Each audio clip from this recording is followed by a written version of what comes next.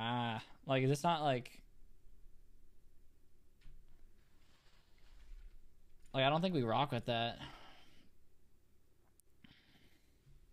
Also, by the way, guys, I just want to point out, um, I do want to take accountability. If you're watching the end of yesterday's stream, I made like a stupid joke. I just want to let you guys know, like, I apologize for that. Shouldn't have said that. If you don't know what it is, it was just, it's not like a big deal, but I just want to go ahead and say it was like a stupid joke. Just want to say that. My bad.